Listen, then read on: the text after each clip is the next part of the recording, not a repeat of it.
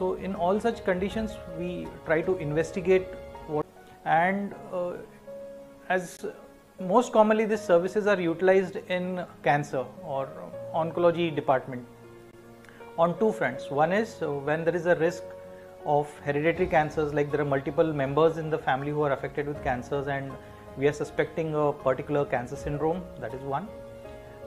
So we can do a genetic test and identify which cancer syndrome it is. We can screen individuals at risk. We can put them on surveillance and appropriate uh, prevent, uh, preventive uh, measures and management can be planned for such individuals.